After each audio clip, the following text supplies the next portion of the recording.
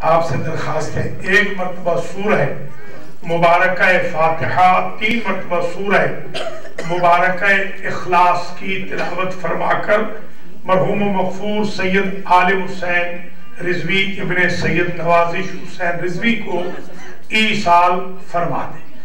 بسم اللہ الرحمن الرحیم۔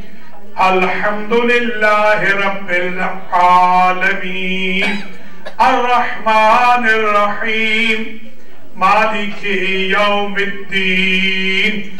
إياك نعبد وإياك نستعين. اهدنا الصراط المستقيم. صراط الذين أنعمت عليهم. غير المغضوب عليهم ولا الضالين. بسم اللہ الرحمن الرحیم قل هو الله أحد. الله الصمد. لم يلد ولم يولد ولم يكن له كفوا أحد. بسم الله الرحمن الرحيم. قل هو الله أحد. الله الصمد. لم يلد ولم يولد ولم يكن له كفوا أحد. بسم الله الرحمن الرحيم. قل هو الله احد الله الصمد.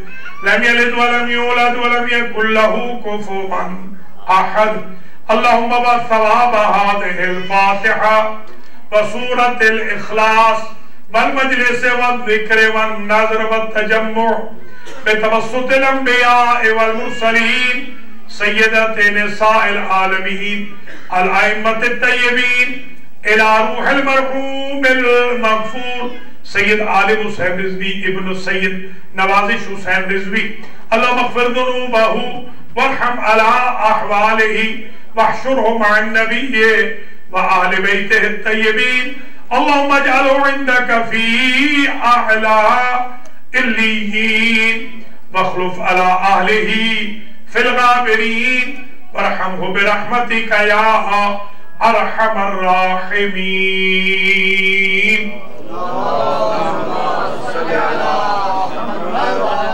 زحمت نہ ہو تو یہ مومنین جو پیچھے بیٹھے ہیں سائیڈوں میں پلیز سامنے آ جائیں۔ ذرا ماحول مجلس ہو جائے۔ جن کو ٹیک کی ضرورت نہیں ہے وہ سامنے آ جائیں۔ نعرہ تکبیر۔ نعرہ رسالت۔ نعرہ حیدری آواز بلند صلوات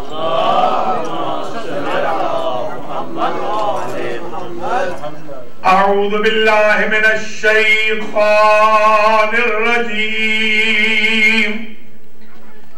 بسم اللہ الرحمن الرحیم الحمدللہ رب العالمین بارئ الخلائق اجمعین والعاقبت لأهل التقوى واليقين.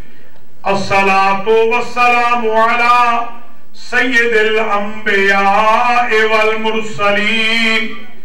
سيدنا ومولانا شفيع ذنوبنا وطبيب نفوسنا وحبيب قلوبنا.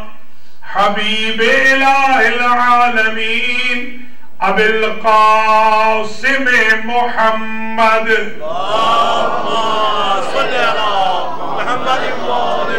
ثم الصلاة والسلام على أهل بيته الطيبين الطاهرين المعصومين المنتجبين الذين أذهب الله عنهم الرجس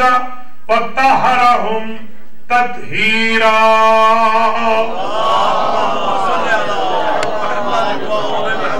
سيما بقية الله الأعظم روحي وأرواح العالمين لتراب مقدمه الفداء عجل الله تعالى فرجه الشريف اللهم صل على محمد وآل محمد واللعنة الدائمة الباقية على أعدائهم أجمعين من يوم ظلمهم إلى قيام يوم الدين أما بعد فقد قال الله سبحانه وتعالى فی في كلامه المجيد وفرقانه الحميد وهو أصدق الصادقين بسم الله الرحمن الرحيم ألهاكم التكاثر حتى زرتم المقابر. صلوات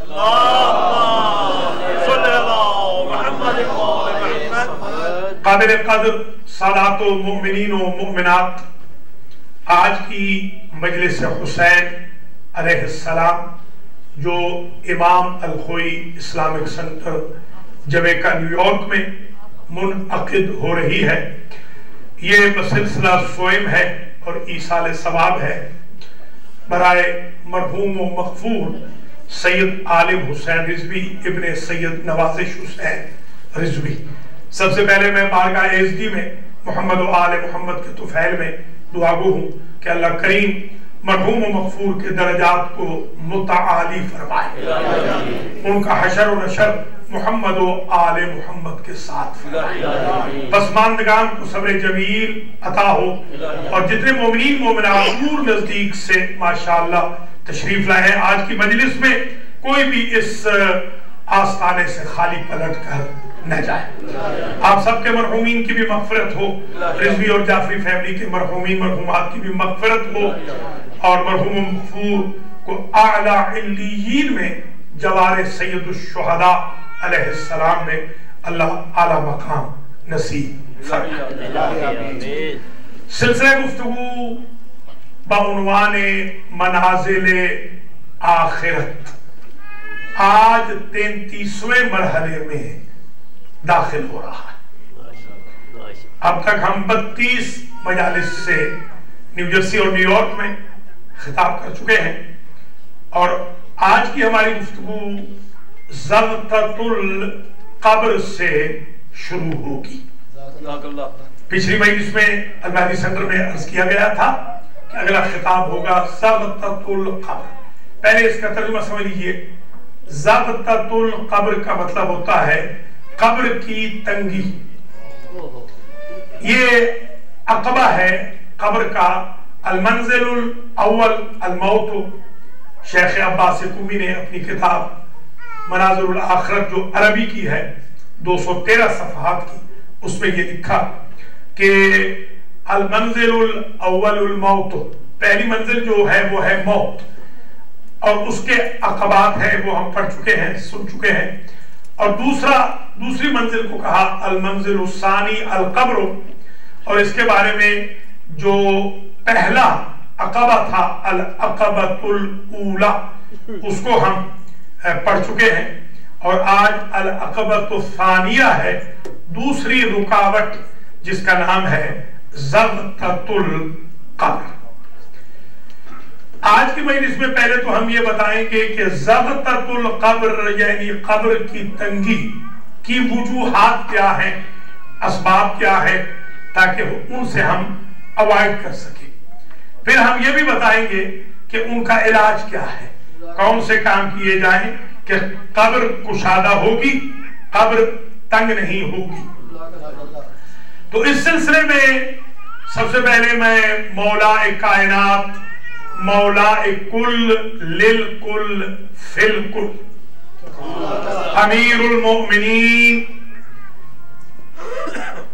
امام المتقین، سر اللہ فی العالمین، قاتل المشرکین، قاتل الناکسین قاتل المنافقین۔ حضرت علی ابن ابی طالب صلوات اللہ وسلام علیہ۔ کا ارشاد گرامی نقل کرتا ہوں۔ آپ یہ فرماتے ہیں کہ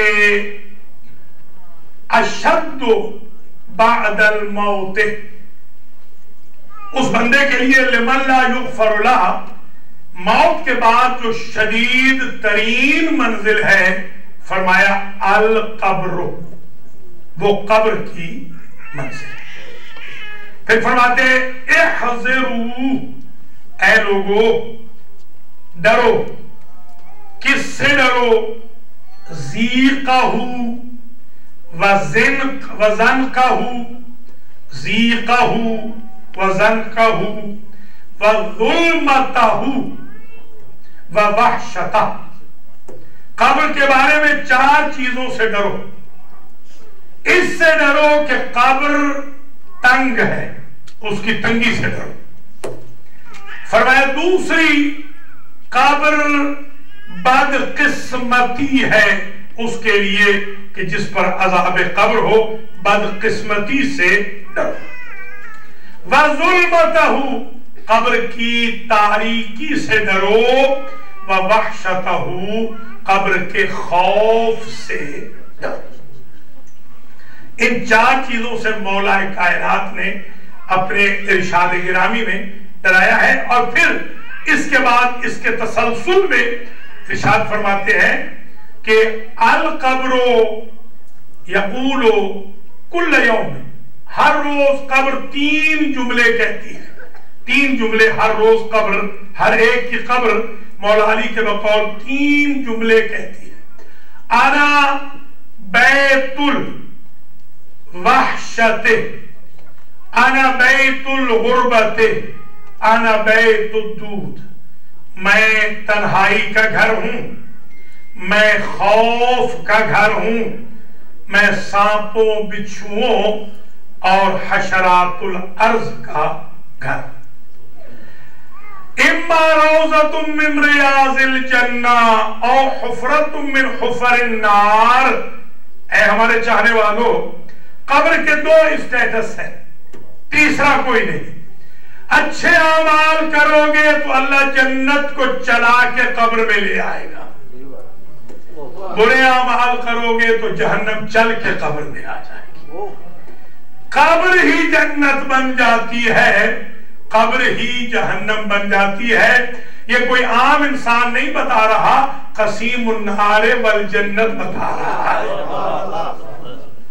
جس نے جنت اور جہنم کی تقسیم فرمانی ہے وہ بتا رہا ہے کہ کار خیر کرتے رہو تاکہ یہی جو تمہاری قبر ہے روزت من ریاض الجنہ، جنت کے باغوں میں سے ایک باغ بن جائے، جہنم کی بھٹیوں میں سے ایک بھٹی قرار نہ پائے۔ جہنم کا آمن نہ بنے جنت کا گارڈن بن جائے۔ نیک اعمال کرتے رہو تاکہ اسی قبر میں تمہیں اللہ جنت کا ٹیسٹ چکھا دے۔ اب یہاں پر ایک آج کل بحث چلی ہوئی ہے۔ انٹرنیٹ پہ بہت سخت قسم کی کہ مولا علی نہیں آتے ہیں۔ میں دعا کرتا ہوں کہ جن کا یہ عقیدہ ہے کہ مولا علی نہیں آتے، اللہ مولا علی کو ان کے پاس تو نہیں۔ بلکہ میں مولا علی سے دس بستہ گزارش کروں گا کہ قبلہ ان کے ہاں بالکل ارائیول نہ کیجیے گا کہ جو اس بات کے منکر ہیں کہ مولا علی کو اللہ نے پاور دی ہے کہ وہ آ سکتے ہیں۔ چاہے تو وہ موت کے وقت آ سکتے ہیں، چاہے تو وہ قبر میں آ سکتے ہیں۔ چاہے تو محشر میں مدد فرما سکتے ہیں۔ اگر حلال مشکلات نے مدد نہیں کرنی، تو مشکلات میں شکاروں نے مدد کرنی ہے۔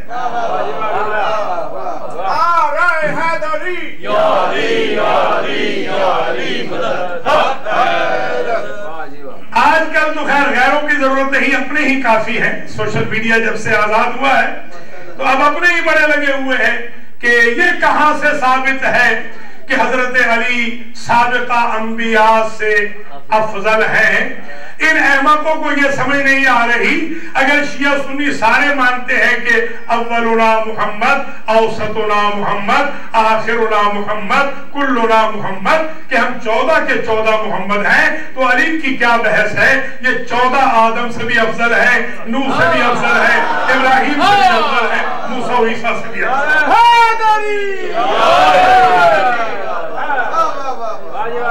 اور یہ بھی ذہن نشین فرما لیجیے، کیونکہ بڑے محب اہل بیت اور مولاری کے بہت چاہنے والے کی یہ مجلس سے سوئم ہے۔ تو میں چاہتا ہوں کہ روح کو ڈائریکٹ پہنچ جائے یہ بات۔ مولا علی علیہ السلام کا بازو پکڑ کے جو نبی نے فرمایا تھا، وہ اس لیے تو کہا تھا۔ اس لیے کہ اللہ نے تعارف کرایا اپنے حبیب کا ان الفاظ میں کہ میں ہوں رب العالمین۔ یہ ہے رحمت للعالمین۔ جہاں جہاں تک میری ربوبیت چاہے وہاں وہاں تک میرے نبی کی رحمت چاہے۔ اور نبی نے بھی وہی پیٹرن استعمال کیا من کن تو مولا ہو فہاد علی مولا جہاں جہاں تک میری مولائیت چاہے وہاں وہاں تک علی کی مولائیت چاہے۔ نعرے تکبیر۔ نعرے رسالت۔ نعرے محمد والے محمد صلوات. میں نے تو یہ روایات میں دیکھا ہے ریپیٹ نہیں کروں گا، اس سے پہلی ابحاس گزر چکی ہے کہ جب مومن مرتا ہے تو ایک علی نہیں آتے، چودہ کے چودہ آتے الحمدللہ، ہم بے وفا رہبروں کے ماننے والے نہیں ہیں۔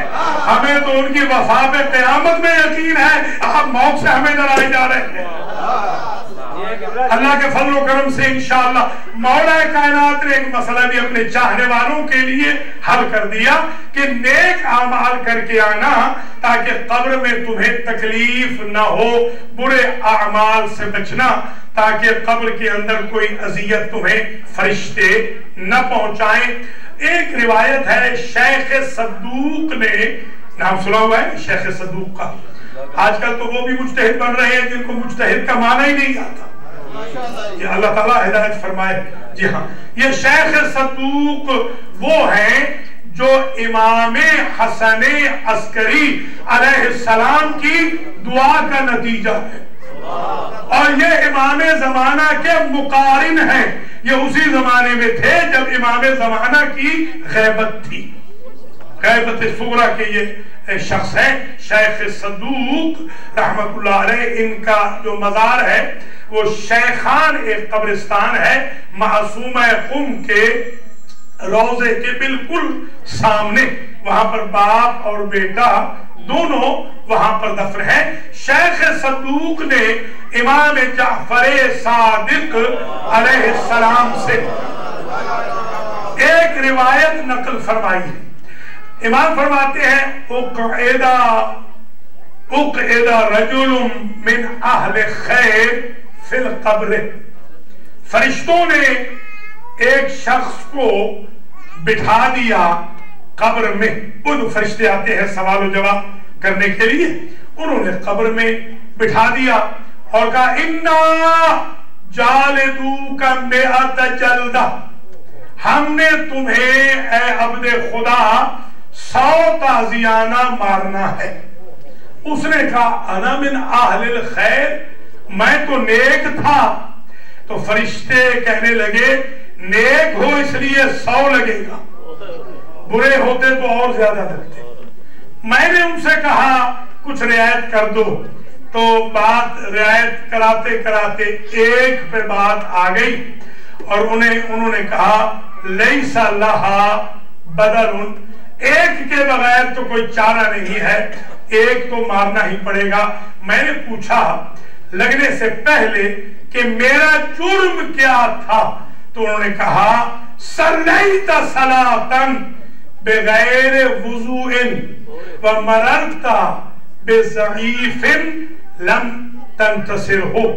اس لیے کہ تو نے ایک نماز پڑھی تھی زندگی میں بغیر وضو کے اور ایک مظلوم کی مدد نہیں کی تھی۔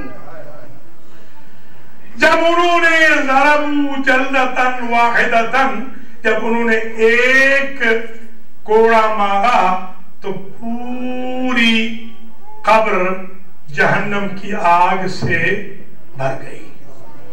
تو گویا پرچہ آؤٹ ہو گیا۔ کبھی نماز بغیر وضو کے نہ پڑھنا۔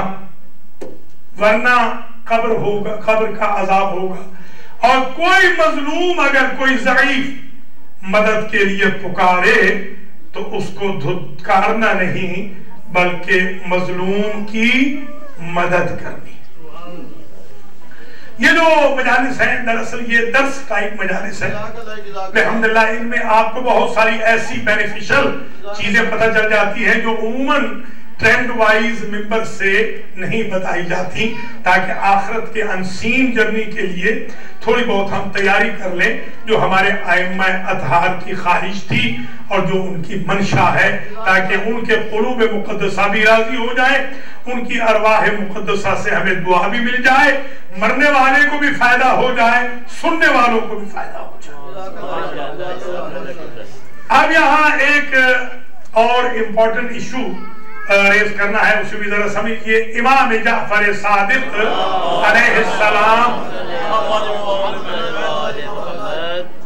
کلما جب بھی رات گزر جاتی یعنی آدھی رات جب ڈھل جاتی، تو سرکار کچھ وظائف فرماتے تھے، کچھ گفتگو فرماتے تھے کہ کان اہلہو یسمع حتیٰ کہ ان کے اہل خانہ بھی دوسرے حضروں میں جو ہوتے تھے، اہل و عیار وہ بھی حضرت کی اس فریاد کو سنتے تھے۔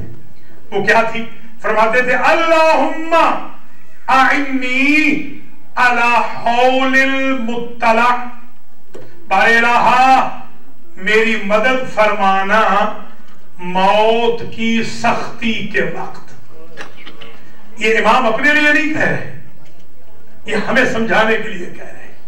کہ تم ہمیشہ اس موت سے جس کی اطلاع دے دی گئی ہے، اس سے ہمیشہ ڈرتے رہنا اور اللہ سے مدد مانگتے رہنا۔ اور دوسری چیز وَوَسِّعْنِي زِيقَ الْمُزَجَّعْ۔ بارے رہا جب میں قبر میں جاؤں تو میری قبر کو کشادہ فرما دینا، میری قبر کو تنگ نہ کرنا۔ وہ امام علیہ السلام نے یہ دو جملے بتا دیئے ہماری رہنمائی کے لیے کہ نصف شب کے بعد پردہ شب میں اگر بارگاہ ازدی میں یہ چھوٹی سی دعا کر لو کہ بار الہ موت کے وقت سختی نہ کرنا اور قبر میں تنگی نہ کرنا۔ اللہ عز و جل نہ موت سختی کرے گا، نہ قبر میں زیق اور تنگی فرمائے اپنی زبان میں بھی کہہ سکتے ہیں، ضروری نہیں، کیونکہ آئمہ کی زبان تو عربی تھی۔ آپ اپنی زبان میں بھی بے شک کہہ سکتے ہیں کہ یا اللہ، موت کی سختی نہ دینا اور قبر کی تنگی نصیب نہ فرمانا۔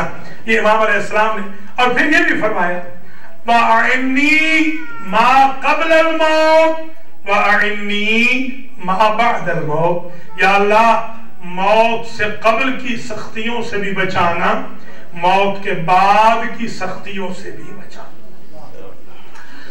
امام جعفر صادق علیہ السلام کی ایک اور دعا بھی ہے۔ یہ دعا بھی ملتے زبان ہے۔ اللہم بارک لی بالموت۔ بارے رہا میری موت کو مبارک کر دے۔ موت دو قسم کی ہوتی ایک موت ہے مبارک، ایک موت ہے منحوس۔ مبارک موت وہ ہے جو برکت والوں کے ساتھ آئے، چودہ کھڑے ہوں اور موت آئے، یہ ہے برکت والی۔ منحوس موت وہ ہے جو شیطان کی موجودگی میں آئے۔ ہم دعا ہے کہ انشاءاللہ جن کا ساری زندگی ہم نے ورد کیا ہے، موت کے وقت انشاءاللہ حل جزاء الاحسان الا الاحسان کے تحت وہ ہمیں ضرور سرفراز فرمائیں گے۔ ایک کنورٹڈ تھے، عراق کے کنورٹڈ صاحب تھے، اور وہ بہت بڑے شاعر بھی گزرے ہیں۔ تو اسماعیل ان کا نام تھا، اسماعیل حمیری وہ سفید ان کا رنگ تھا، مگر جب موت کی سختی آئی، سکرات الموت آئے، تو ان کا چہرہ سیاہ ہو گیا۔ تو ان کے جو رشتہ دار کنورٹ نہیں ہوئے تھے، انہوں نے کہا، دیکھا تم نے؟ تم کہتے تھے، مجھے علی بچائیں گے۔ وہ قائد الغر المحجرین ہے ان کے چاہنے والوں کی پیشانیاں سفید ہیں، نور والی ہیں۔ تمہیں تو اس دنیا میں دیکھیے سواد الوجہ تمہیں مل گیا ہے، تمہارا چہرہ۔ تو وہ اسماعیل حمیری اتنی ان میں ابھی سکت تھی کہ انہوں نے کہا کہ مجھے صرف آخری وقت قبلہ رخ کر دو. قبلہ رخ کر کے دعا کی. پھر کہا، اب میرا رخ نجف کی طرف پھیر دو. نجف کی طرف رخ پھیرا ہی تھا کہ ایک نور آیا جس نے چاند کی طرح چہرہ کر دیا. یہ شیعہ نے بھی لکھا ہے، اسماعیل حمیری کے بارے میں، اہل سنت نے بھی لکھا ہے۔ تو جن کا امام دنیا میں دشمنوں کے سامنے چہرے کو سیاہ نہیں ہونے دیتا، وہ اللہ کے سامنے چہرہ قیامت کے دن سیاہ کیسے ہونے دیتا؟ اس لیے آپ حضرات و خواتین ان مجالس کو جنہوں نے پہلی نہیں سنی، وہ بتیس کی بتیس بھی آپ آن لائن موجود ہیں، ایک ایک کر کے سنتے جائیں تاکہ کورس کے طور پہ آپ کو پتا چلتا جائے۔ امام صادق آل محمد فرماتے ہیں وَأَعِنِّي عَلَىٰ زِيقِ الْقَبْرِ۔ الہا میری معاملت کرنا۔ قبر کی تنگی کے وقت۔ میں نے ارز کیا یہ ہمارے لیے دعا ہے، ان کے لیے نہیں، ہمیں سمجھانے کے لیے ہے، تاکہ ہم ایسے دعا کریں۔ وَأَعِنِّي عَلَىٰ زَمِّ الْقَبْرِ۔ یا اللہ، اس وقت میری مدد کرنا کہ جب دائیں طرف کی دیوار قبر کی بائیں سے مل جائے اور بائیں کی دائیں سے مل جائے۔ زم ہو جائے۔ یہ اس کو کہتے ہیں زم ہو جانا۔ جب مرج ہو جائے قبر، یا اللہ، اس وقت میری مدد کرنا۔ پائنی علا ظلمت القبر۔ بارے الہا، قبر کی تاریکی کے وقت میری مدد فرمانا۔ وَأَعِنِّي عَلَى وَحْشَتِ الْقَبْرِ۔ اور بار الہا، خوف قبر سے مجھے آمن عطا فرمانا یہاں پر میں چاہوں گا کہ ایک حدیث شریف اور امام جعفر صادق علیہ السلام پیش کر دوں فرمایا کہ ما من مومن الا ولہو زمتن مومن کے لیے قبر میں تھوڑی بہت تکلیف تو ضرور ہوتی ہے تاکہ اسی تکلیف کے بعد قیامت تک کے لیے راحت میں پڑا رہے تھوڑی بہت تکلیف ہوتی ہے اور اس مضمون کی روایات بہت زیادہ ہے کہ قبر میں یا تو پہلی رات جو تھوڑی تکلیف ہوتی ہے، اسی سے پھر مومن کی تکلیف ختم ہو جاتی ہے۔ بلکہ میں نے تو یہاں تک بھی دیکھا ہے کہ قبر میں جو منکر و نکیر آتے ہیں، جب آ رہے ہوتے ہیں تو منکر و نکیر ہوتے ہیں۔ جب پہنچ رہے ہوتے ہیں تو مبشر و بشیر بن چکے ہوتے ہیں۔ یعنی وہ بشارت دینے لگ جاتے ہیں۔ جیسے ہی وہ آتے ہیں تو بشارت دینے لگ جاتے ہیں۔ یہاں پر یہ چیز بھی سماعت فرما لیجیے کہ مولا کائنات حضرت علی ابن ابی طالب صلوات اللہ علیہ۔ وسلم علیہ کی عنایت سے اور ان کی ولایت سے اور ان کی اطاعت سے اور ان کے ساتھ وفات سے، جیسا کہ موت کے مراحل کا عرض کر چکا ہوں، قبر کے مراحل بھی انشاءاللہ ضرور آسان ہوں گے۔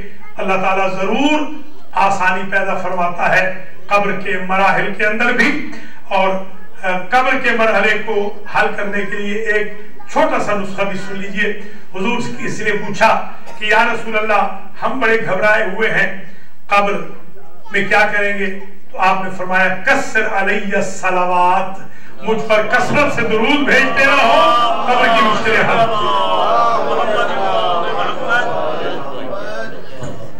آج کی اس گفتگو میں میں چاہوں گا کہ ایک حدیث شریف اور کوٹ کروں اس کو، کیونکہ عام طور پر یہ احادیث پڑھی نہیں جاتی۔ اے مراجولون سرکار نے فرمایا کہ بہت سارے بندے ایسے ہوتے ہیں کہ جو گزرتے ہیں کسی مومن کے پاس سے۔ اور مومن کوئی مشکل کا شکار ہوتا ہے تو اس سے غز بسر کر کے چلے جاتے ہیں۔ اس کو مشکل میں دیکھ کر ذرا سا کنارہ گیر ہو جاتے ہیں۔ فرمایا، ایسے بندے پر سلطہ اللہ شجاعن اللہ ایسے بندے پہ قابر میں ایک اجدہا مسلط فرما دے گا۔ ینحشو ینحشو ابہامہو و ینحشو اصابعہ۔ وہ اس کی پانچوں ہاتھوں کی انگلیاں اور پانچوں پانچوں پاؤں کی انگلیوں کو سویلو کرتا رہے گا۔ فی القبر الى یوم القیامہ۔ قیامت کے دن تک۔ وہ بندہ جس نے مومن کی حاجت روی نہیں کی، جس نے مومن کی تکلیف کو دور نہیں کیا، جس نے مومن کی تکلیف کو اپنی تکلیف نہیں سمجھا۔ اگلا جملہ بڑا عجیب ہے۔ مغفورا معذبا قیامت کے دن بے شک معافی کیوں نہ کر دیا جائے، قبر میں یہ اجدہا تکلیف دیتا رہے گا، ایک برادر مومن کی مدد نہ کرنے کی پاداش میں۔ لہذا اس کو بالکل لائٹ شمار نہ کریں۔ ہمارے ہاں عموماً ہم لائٹ شمار کرتے ہیں، تو اس چیز کو بہت توجہ کے ساتھ۔ شیخ نے کچھ چیزیں اور لکھی ہیں، وہ بھی سن لیں اور پھر میں اپنے مقصد کی طرف آتا ہوں، بہت طویل زحمت نہیں دوں گا۔ بس میں مختصر گفتگو کر رہا ہوں، دس منٹ کے اندر انشاءاللہ یہ میری گفتگو سمرائز ہو جائے گی۔ دس منٹ اور آپ زحمت برداشت کر لیں۔ پہلے تو وہ سن لیں کہ شیخ فرماتے ہیں کہ جو عذاب قبر کا سبب چیزیں ہیں، فرماتے ہیں ان میں سے ایک تو زبان کے زخم ہے۔ بندہ جو زبان کے زخم لگاتا ہے، ایک حدیث شریف بھی ہے۔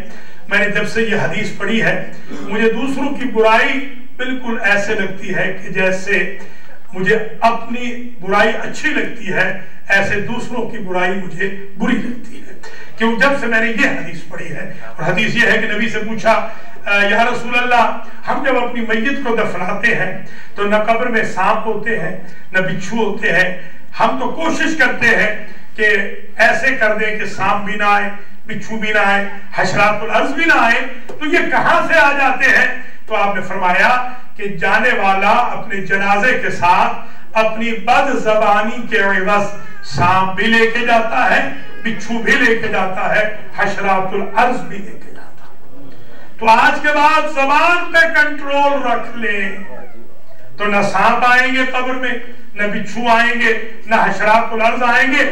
جیسے رشتہ داروں نے سنایا تھا، ویسے کافور کی خوشبو کے ساتھ میدان محشر میں آئیں گے، ایسے آئیں گے جیسے چودوی کا چاند نکل آیا۔ بس ہے تو مشکل ذرا، کیونکہ ہم یوسج ہم بہت یوز ٹو ہو چکے ہیں، ہم بہت ایڈکٹ ہو چکے ہیں، ہم بہت ٹاکٹیو واقع ہو چکے ہیں، ہمیں بہت لذت آتی ہے دوسروں کی برائی کرتے ہوئے جی ہاں بہت ہمیں لطف آتا ہے دوسروں کی برائی کرتے ہوئے۔ تو ایک زمانے میں ہم بھی اسی کشتی کے سوار تھے۔ اب نہیں ہے الحمدللہ۔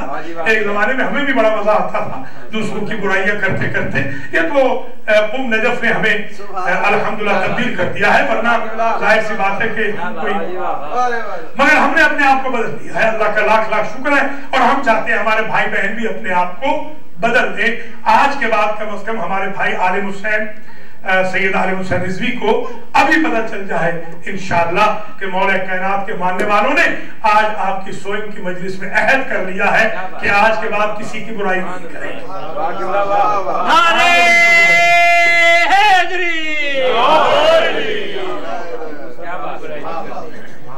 دوسری بات جو میں بہت امپورٹنٹ آخری مراحل میں کرنا چاہ رہا ہوں وہ یہ ہے کہ شیخ فرماتے ہیں وعذاب القبر وزفتت القبر. من من النمیمت والغیبت یہ جو قبر کا عذاب ہوتا ہے، قبر جو تنگ ہوتی ہے، یہ چغل خوری کی وجہ سے۔ یہ ہمارے یہاں ایک عام برائی ہے، جس کو ہم فیشن سمجھتے ہیں۔ ہم سمجھتے ہیں کہ یہ ہمارا بائی برتھ حق ہے کہ ہم دوسرے کی ادھر کی بات ادھر کریں، ادھر کی بات ادھر کریں۔ تو یہ نمامی ویل لکل ہمازہ دل لومازہ جہنم میں خاص وادی ہے چغل خوروں کے لیے۔ یہ زفتت القبر کی ایک وجہ زبان کا زخم، گالیاں بد زبانی اور ایک وجہ چغل خوری۔ اور ایک وجہ الغیبتو قبر تنگ ہوتی ہے غیبت کی وجہ سے۔ آپ یقین کریں اس غیبت سے کچھ حاصل نہیں ہوتا۔ ہم نے کر کے بھی دیکھی ہے اوائل میں چھوڑ کے بھی دیکھی ہے۔ خدا کی قسم جتنا چھوڑ کے مزہ آیا ہے اتنا کبھی کر کے مزہ نہیں آیا۔ آپ چھوڑ کے دیکھو تو صحیح۔ آپ کی نئی زندگی سٹائل نئی لائف سٹائل آ جائے گی۔ نئی زندگی سٹارٹ کریں گے یہ زمانے جاہلیت میں کی ہے یہ نہ سمجھنا مولانا بننے کے بعد کی اسکول کالج میں کرتے تھے، الحمدللہ، مولانا بننے کے بعد اللہ کا لاکھ لاکھ شکر ہے۔ انسان بن گئے مولانا بننے کے بعد۔ تو چوتھی چیز سمجھ لیں، میں پردے میں عرض کروں گا۔ شیخ نے کہا، عدم التہارت یہ پاکیزگی کا نہ رکھنا۔ یہ آج کل جوانوں کی عادت ہے، کپڑے نجس ہے یہ آپ جائیں، کل ضرور جائیں بکی کے جلوس میں، مگر واپسی میں نماز قضا نہ کرنا۔ میرے ساتھ تو جو بھی گیا ہے تقریباً واپسی میں نماز قضا کی تو وہ بکی میں جانا قبول نہیں ہوگا۔ بکی میں ضرور جائیں، انشاءاللہ۔ اور پرسوں بھی ضرور آئیں۔ پرسوں بہت بڑا اجتماع ہے، انشاءاللہ۔ یہ یوم سوگ ہے۔ سوگ کا دن منا رہے ہیں نیو یارک والے، یونائٹڈ نیشن کے سامنے۔ انشاءاللہ ایک بجے آپ ضرور سیٹرڈے کو تشریف لے آئیں۔ وہاں پر انشاءاللہ مسائل بھی ہوں گے۔ اور وہاں پر بقی کی تاریخ بھی انشاءاللہ آج تو فرصت نہیں بننا، وہاں بقی کی تاریخ بھی بیان کی جائے گی اللہ کے فضل و کرم سے۔ وہاں بھی ضرور تشریف لے آئیں۔ اور میں چاہوں گا کہ جو البقی کی تحریک ہے، اس کا آپ حصہ بنیں۔ البقی کی جو تحریک ہے، اس کا حصہ بننا چاہیے تاکہ انشاءاللہ ایک دن وہ آئے، جیسے سماعت الشیخ نے کہا کہ اللہ ان کو ہدایت کر دے یا اللہ ان کو دفع دور کر دے کہ کسی اور کو ہدایت ہو جائے۔ انشاءاللہ کہ جنت البقی کے روزے تعمیر ہو جائے بس آخری مراحل میں تقریر آگئی ہے۔ جناب شیخ عباس سے امی نے پندرہ علاج لکھے ہیں۔ آج پندرہ نہیں بیان ہوں گے۔ آج تھوڑے سے ہوں گے۔ سیٹرڈے کو جو مجلس ہوگی انشاءاللہ محفل شاہ خوراسان میں، اس میں انشاءاللہ باقی بیان کر دیں گے۔ جلدی جلدی سن لیجیے جتنے آج بیان ہو سکتے ہیں۔ پندرہ علاج ہیں۔ پندرہ کام کر لے۔ تو شیخ عباس قمی کہتے ہیں کہ قبر تنگ نہیں ہوگی۔ یہ پرچہ گویا آؤٹ ہو گیا۔ پندرہ کام کر نمبر ایک، اگر آپ ادامت و قراعت سورت النساء یوم الجمعہ۔ جمعہ کے دن، جمعہ کے دن سورت النساء پڑھنی شروع کر من قرأ سورت النساء یوم الجمعہ آمین من زفتت القبر۔ حدیث کے جملے ہے گارنٹی ہے۔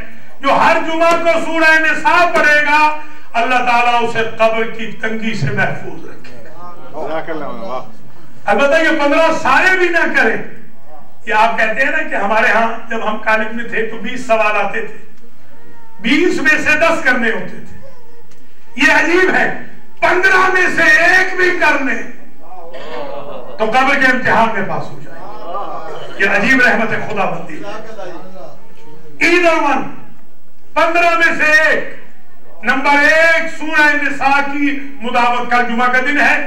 کل سے ہی بسم اللہ شروع کر دیجیے کل سے سورت النساء۔ تھوڑا سا جمعے میں جلدی چلے جائیے۔ وہیں قرآن لے کے سورت النساء پڑھ لیجیے۔ اس نیت سے کہ اللہ میری قبر کو تنگ نہ فرمائے۔ یہ نمبر ایک۔ نمبر دو۔ اگر کوئی شخص قراعت و سورت زخرف، اگر کوئی بندہ سورت زخرف، من قرآ سورت زخرف، جو سورہ زخرف کو پڑھے گا، اس میں نہیں لکھا، جمعہ کے دن پڑھنی ہے۔ جو سورہ زخرف کو پڑھے گا آمین اللہ عز و جل من حوام القبر وزغتت اللہ اسے سانپ اور بچھو سے بھی قبر میں بچا لے گا اور قبر کی تنگی سے بھی محفوظ فرما دے گا۔ یہ دو ہو گئے۔ نمبر تین، من کرا جو شخص پڑھ لے سورت التکاثر، یہ جس کو میں نے تلاوت کیا ابتدا میں الحاکم التکاثر حتی زرتم الرقاب۔ جو سورت تکاثر کو پڑھ لے، اللہ اسے قبر کی تنگی سے محفوظ فرما دے گا۔ نمبر چار مماتا بین الخمیس و زوال الجمعہ جو جمعہ کے دن فوت ہو جائے آٹومیٹکلی قبر کے امتحان سے پاس ہو گیا بہت ہی آسان ہوتا جا رہا ہے۔ نمبر پانچ سلات اللیل جو بندہ تحجد کی نماز شروع کر دے۔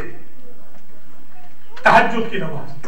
یہ جو کڑائی گوشت کڑائی مرخ کھانے والے لوگ ہیں، وہ یا تو کم کھائیں یا پھر رات بھر جاگے تب تحجد پڑھ سکیں جی ہاں۔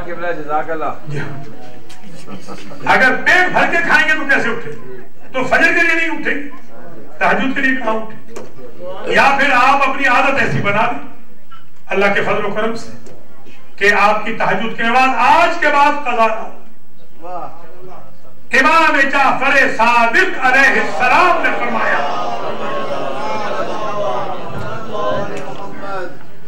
صلی صلاة اللیل وحشت القبر۔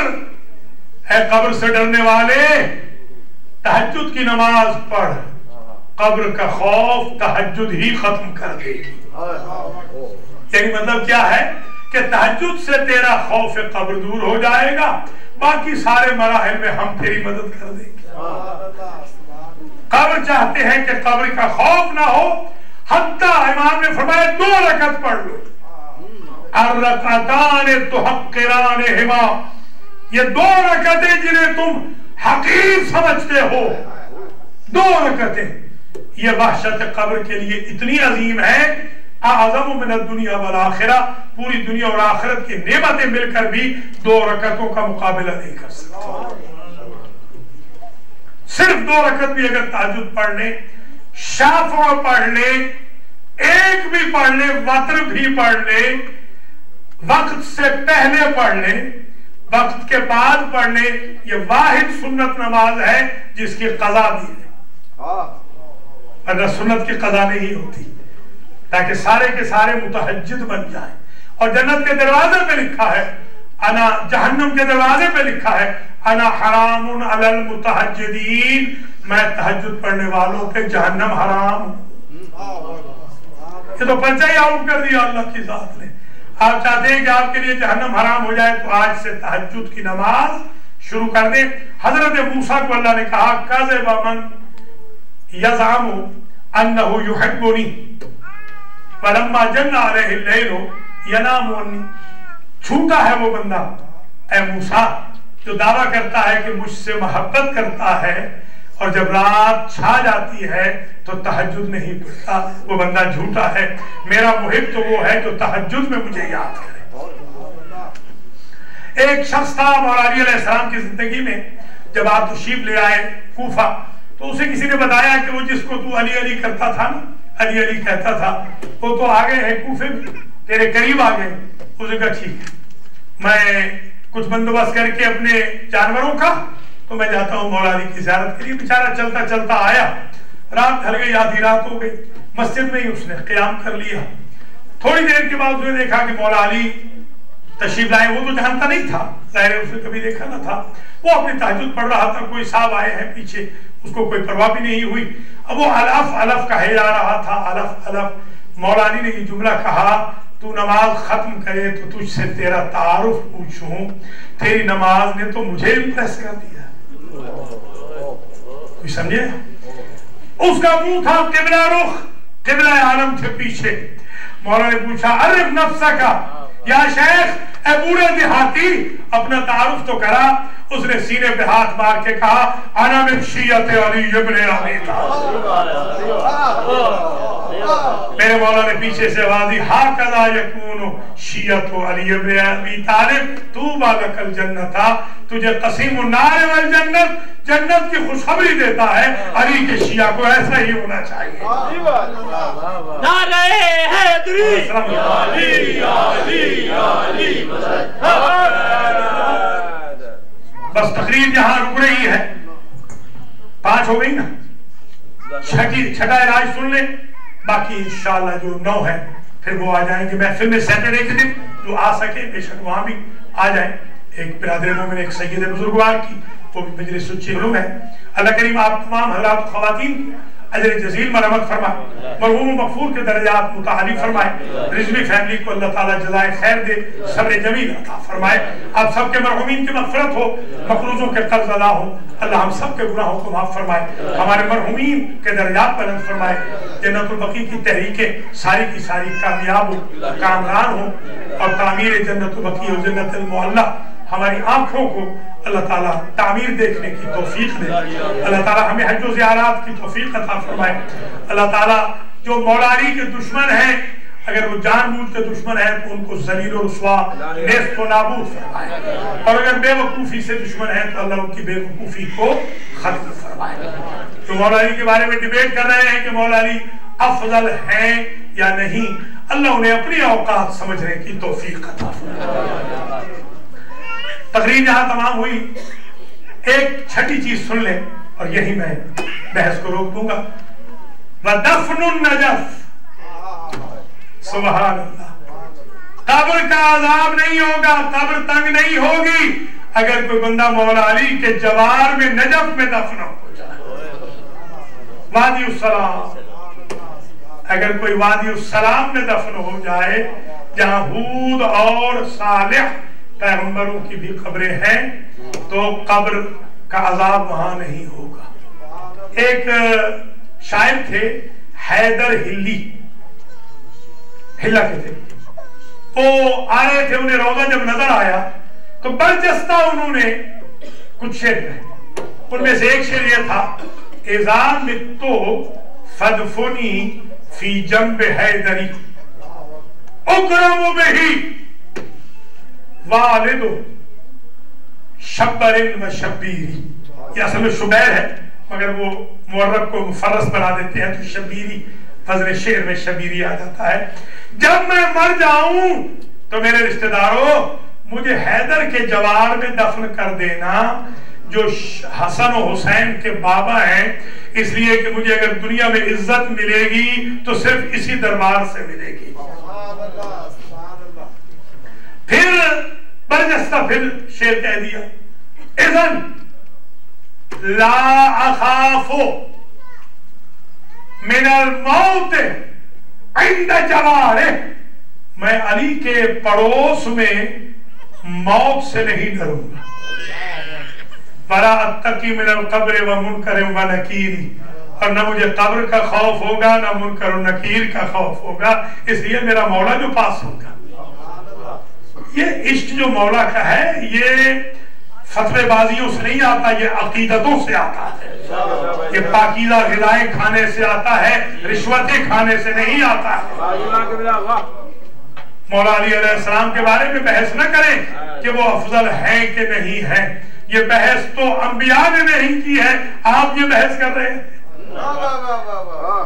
یہ انبیاء نے بحث نہیں کی ہے۔ مولا علی علیہ السلام سے جب پوچھا بھی تھا، ان کی کسی قریبی صحابی نے کہ سرکار یہ بتائیے، آپ افضل ہیں یا آدم؟ تو مولا نے تو جلدی جلدی یہ جواب دیا کہ آدم میں اور مجھ میں فرق یہ ہے کہ آدم پر دانے گندم، ممنوع تھا، وہ کھا گئے تھے، جنت ہاتھ سے دے بیٹھے، مجھ پہ ممنوع نہ تھا، میں نے چکھا بھی نہیں ہے، جنت اپنے بچوں کے لیے خرید لی ہے۔ آپ افضل ہیں یا نو؟ کہ نو نے تو بد دعا کر دی۔ حالانکہ ان کو تو اتنا ٹارچر بھی نہیں ہوا۔ مجھے تو ٹارچر بھی بے پناہ ہوا۔ میں نے تو بد دعا نہیں کی۔ نو کو اللہ نے بیٹا دیا تھا۔ نو بلا رہے تھے۔ وہ بھاگ رہا تھا۔ مجھے اللہ نے دو بیٹے دیے ہیں۔ محمد کی وحی سے دھلی ہوئی زبان یہ کہتی ہے، الحسن والحسین، سیدہ شباب عالم جنہ آپ افضل ہیں یا ابراہیم؟ کہ ابراہیم کہتے تھے رب ارنی کئی فتح یہ موتا تو مجھے بتا، مجھے یقین دینا کہ مردے زندہ کیسے کرتا ہے۔ اور میں علی نے کہا تھا لوگ کوشے پالے الگتا لوگ ازدت تو یقینا۔ اگر میرے سامنے سے پردے ہٹا بھی دیے جائیں، میرے یقین میں کوئی اضافہ نہیں ہوگا۔ آپ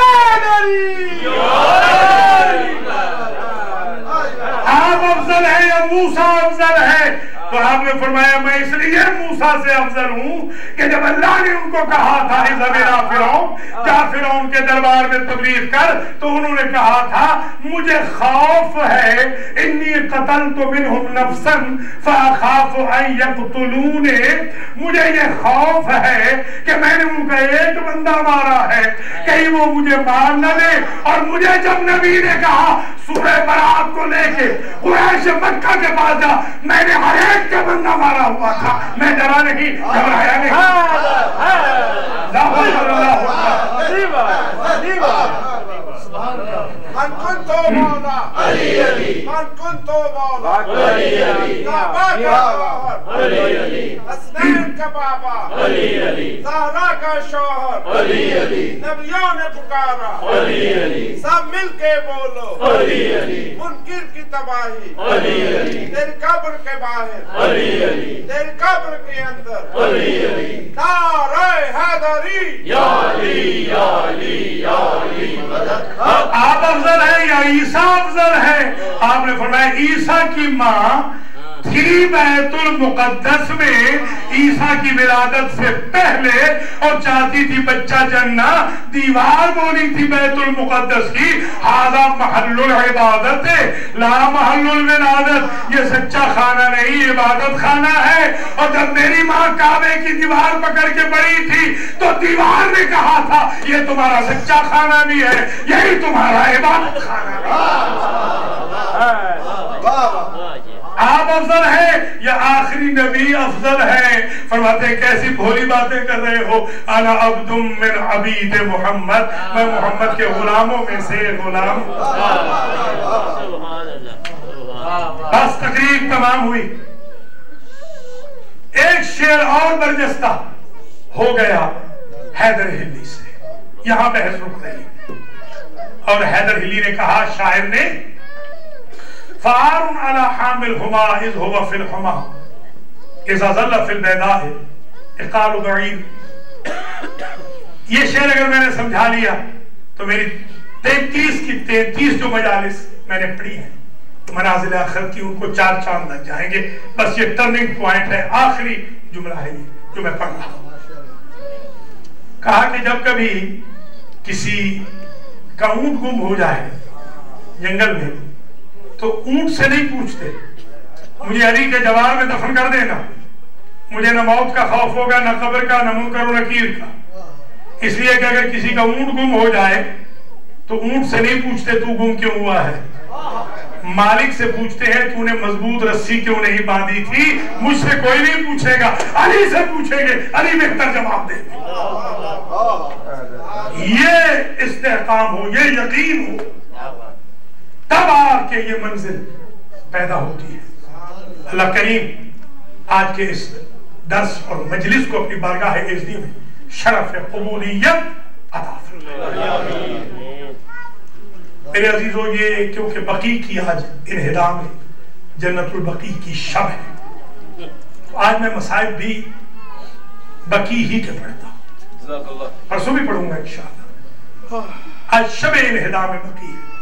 بقی میں جو ہستیاں دفن ہیں ان میں سے جن کے مسائب ہیں ان میں سے پہلی ہستی تو وہ ہے کہ تاریخ میں واحد جنازہ تھا جس کے جنازے پہ اٹھارہ تیر مارے گئے۔ اللہ نے رسول کو دو ہی تو نواسے دیے تھے۔ ایک کے جنازے پر تیر تھے۔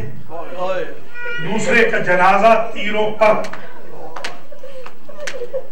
اللہ حسن سب قبا کو وہ زہر دیا گیا جو اگر دریا میں ڈال دیا جائے تو مچھلیاں مر جاتی۔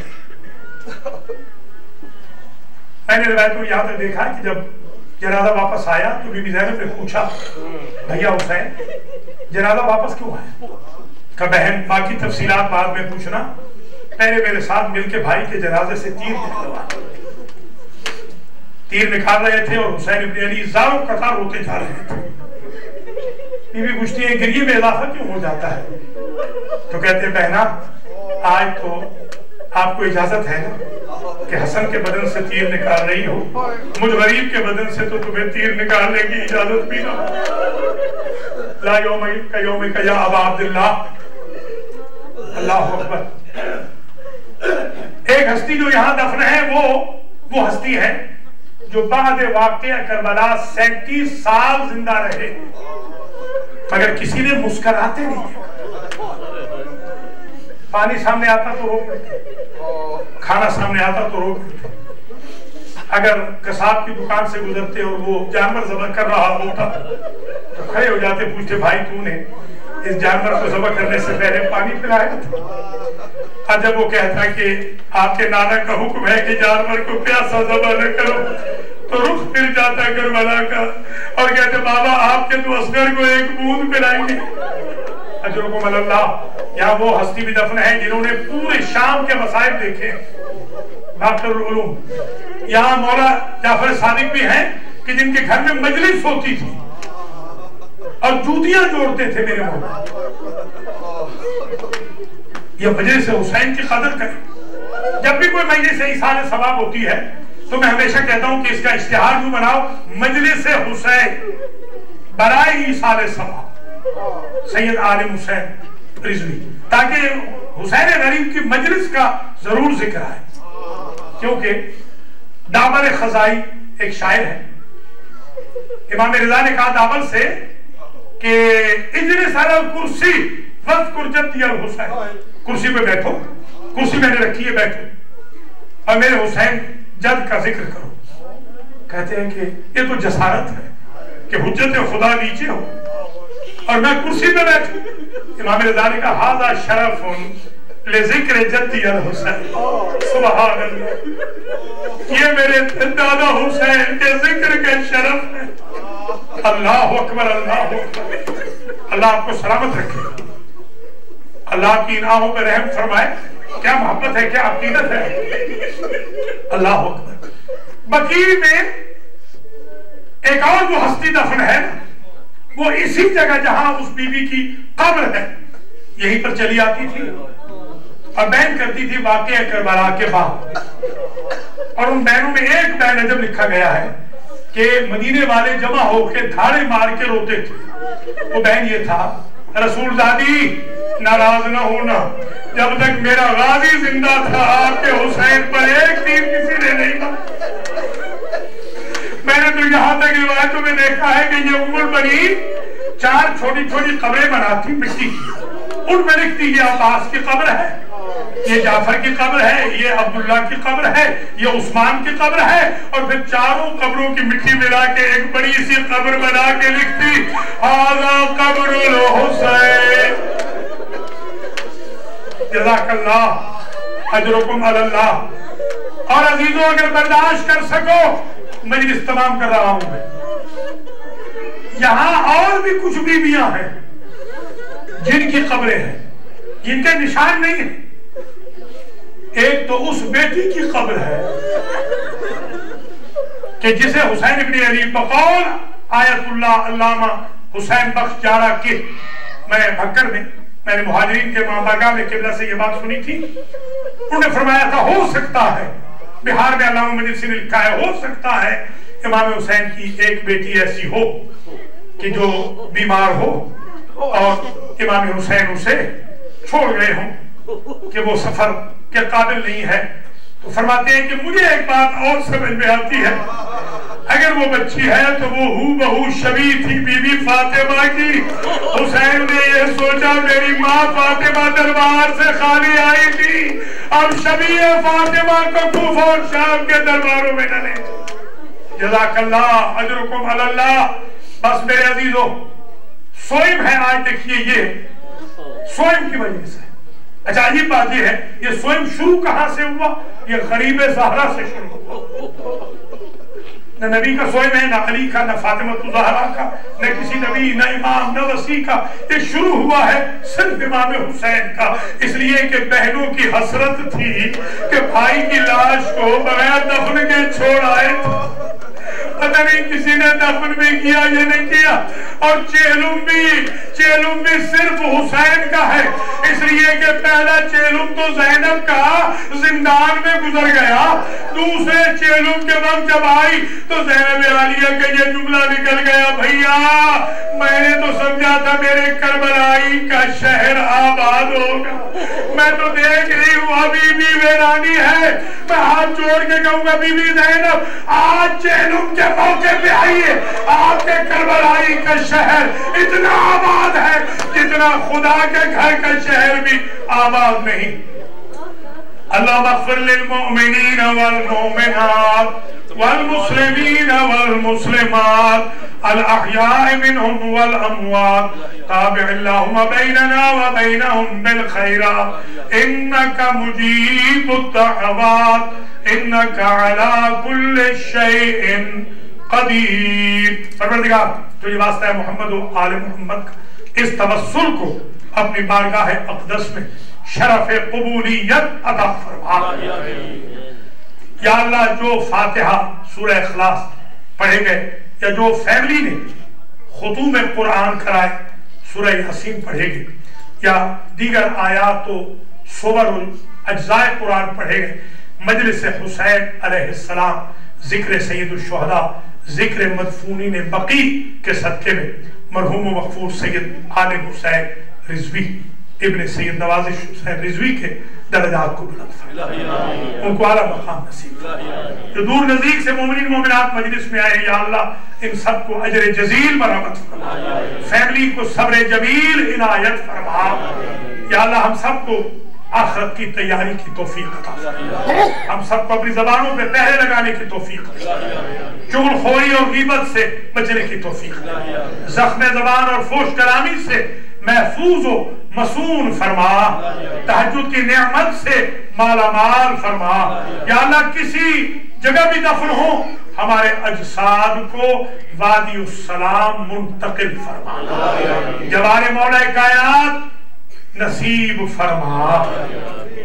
یا اللہ، مولا کائنات قائد الغور المحجرین ہے قیامت کے دن ہماری پیشانیوں کو سفید فرما۔ یا اللہ، مولا علی کی ولایت ہماری نسلوں میں برقرار رہے۔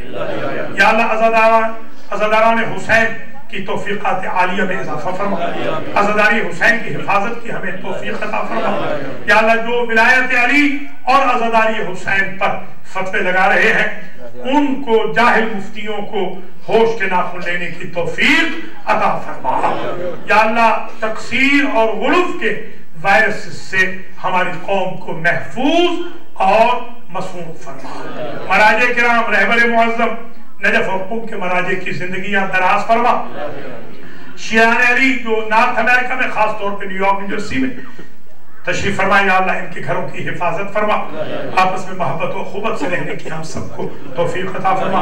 امام الخوئی اسلامک سنٹر کے بانیان، بشمول مرجع اعظم امام الخوئی نبر اللہ مرقدہ و شریف اور ان کے فرزندان ارجمندان آیت اللہ شیخ جواد سہلانی اور دیگر جو منظورین ہیں اور خزار محترم کے مرحومی مرحومات، سب کی بخشش فرما۔ یا اللہ، جو خدمت گزاران امام الخوئی اسلامک سنٹر ہیں، ان کی توفیقات عالیہ میں سماعت شیخ فاضل سہلانی سمیت اضافہ فرما۔ ہم سب کا خاتمہ الخیر فرما۔ ہمیں اولادوں کی صحیح تربیت کی توفیق عطا فرما اولادوں کو والدین کا احترام کرنے کی توفیق عطا فرما۔ ہمارے گھروں کو جنت ماحول عطا فرما۔ رضوی فیملی کے جمیع مرحومین، مرحومات کی بخشش فرما۔ حج و زیارات ہم سب کو نصیب فرما۔ امام الاسر کے ظہور میں تاجیل فرما۔ ہم سب کو آپ کے آروان و انصار میں شمار فرما۔ ربنا تقبل منا، انکا انت السمیع العلیم۔